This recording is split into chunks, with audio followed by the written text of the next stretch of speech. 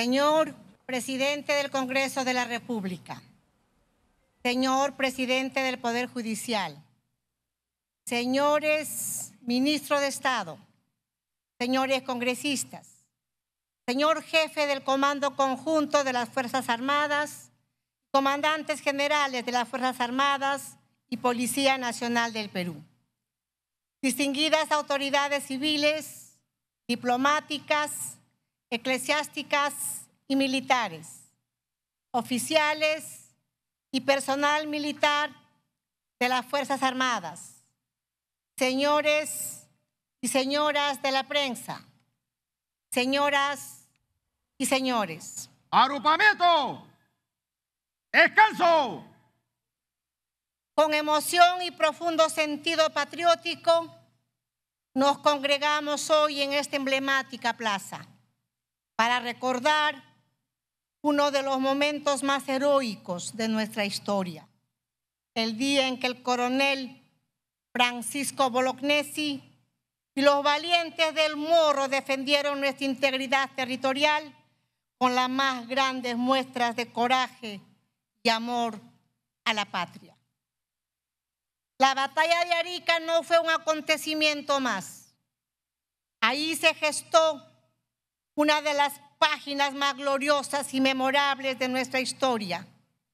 En ese campo de batalla, nuestros héroes dejaron sus vidas, dándonos una lección eterna de fortaleza y gallardía.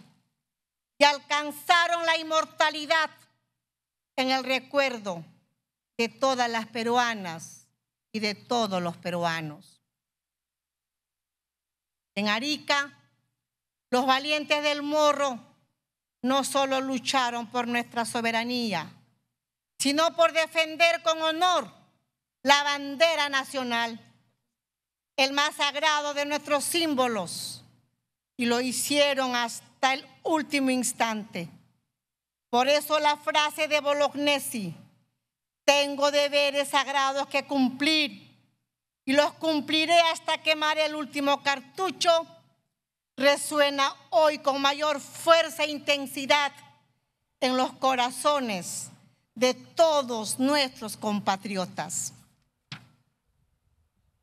No hay nada más elevado, no hay nada más excelso ni grandioso que defender la bandera nacional, porque representa la integridad de nuestra patria, representa nuestras riquezas, nuestra identidad, nuestras luchas, pero también nuestras esperanzas e ilusiones.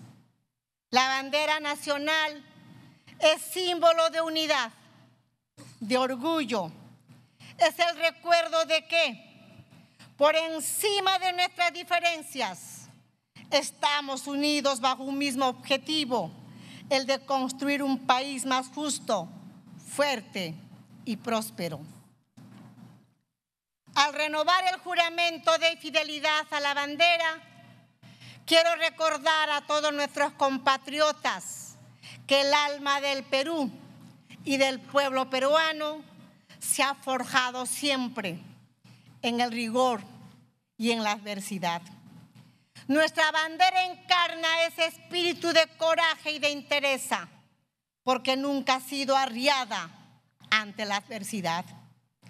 Es la misma bandera que fue desplegada por primera vez el 28 de julio de 1821, en el momento de la proclamación de nuestra independencia. Es la misma bandera con la que Alfonso Ugarte se lanzó montado en su caballo desde la cima del morro de Arica para evitar que caiga en manos del enemigo. Es la misma bandera que ondeó victoriosa luego que nuestros valerosos comandos ejecutaran la operación Chavín de Guantar, que permitió el rescate de 72 rehenes que permanecían cautivos a manos del terror. Nuestra rojiblanca es única.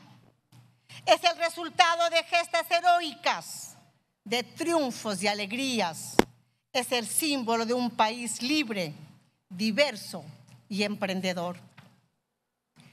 En cada peruana y en cada peruano de ayer, de hoy y de siempre, hay una bandera en el padre que trabaja día a día para llevar un pan a la mesa de su hogar, en la madre que antepone su propio bienestar por el bienestar de sus hijos, en el agricultor que en medio de la adversidad trabaja la tierra y produce los alimentos que necesitamos, en el pequeño empresario que genera empleos e impulsa el crecimiento de nuestro país.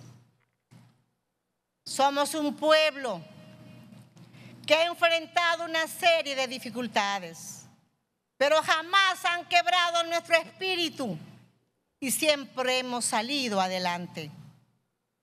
Queridos compatriotas, casi un siglo y medio después de la gesta de Arica, el destino nuevamente nos exige, esta vez, luchar contra la pobreza, la desigualdad y sobre todo luchar contra la corrupción, que afectan principalmente a los más vulnerables y entorpecen nuestro crecimiento y nuestro desarrollo. Cada uno de nosotros, desde el lugar en que se encuentre, tiene un deber sagrado que cumplir.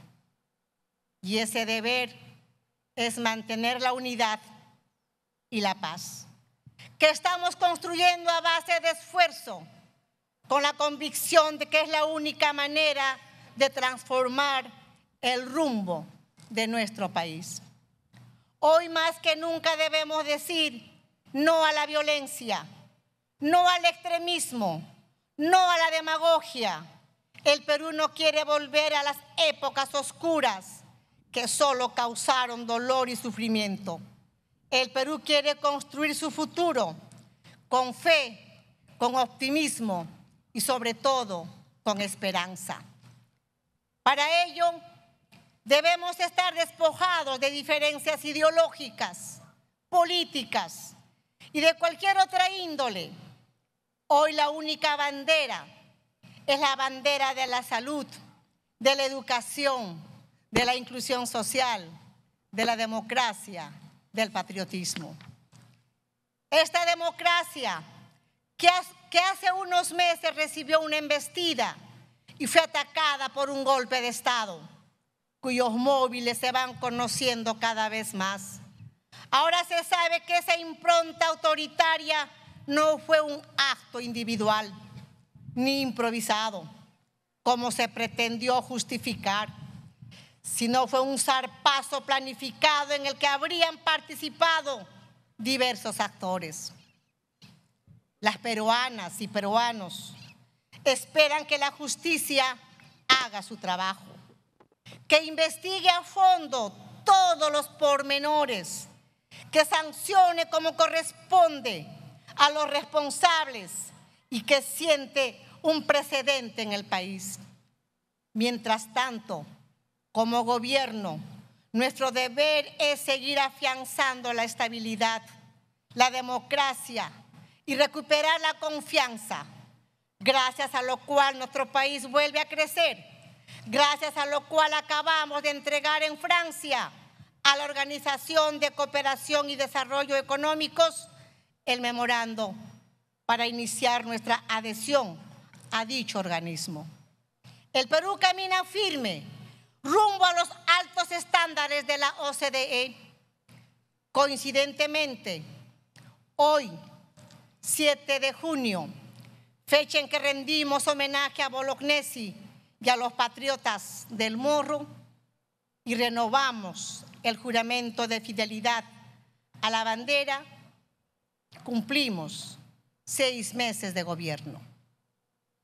Quiero adelantar al país que cumpliendo nuestro compromiso de hacer un gobierno transparente, un gobierno que rinde cuentas de sus actos, este viernes próximo presentaremos el balance de los seis meses de gestión. Será una oportunidad para mostrar ante todas las peruanas y peruanos las medidas, las acciones, las inversiones sociales y los logros de nuestro gobierno, pero también los retos que tenemos por delante. Y lo que tenemos por delante es un país que crece y que produce, un país que genera empleos, que cierra las brechas sociales, que fortalece su democracia, un país que construye su futuro con fe y esperanza. Unidos, firmes y dignos siempre. ¡Viva el coronel Francisco Bolognesi! ¡Viva!